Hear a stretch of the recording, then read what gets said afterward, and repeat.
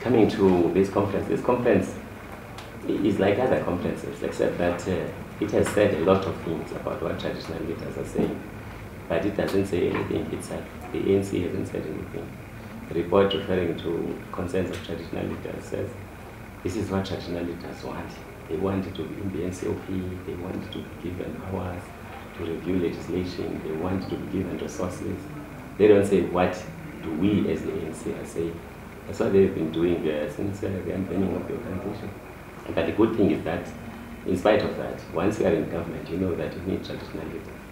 Every department that has a program that it wants to to be introduced in the countryside, uh, they have to make sure that they work with traditional leaders. So you have the houses of traditional leaders, nationally, provincially, locally.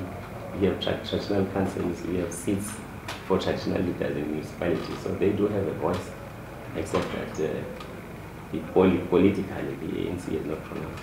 The obvious reason, if you empower traditional leaders, especially at local, at local level, they are going to disempower councillors. What are they going to do if traditional leaders are there and like they are given the resources that uh, are required in order to ensure that uh, people get the government services that, that they deserve?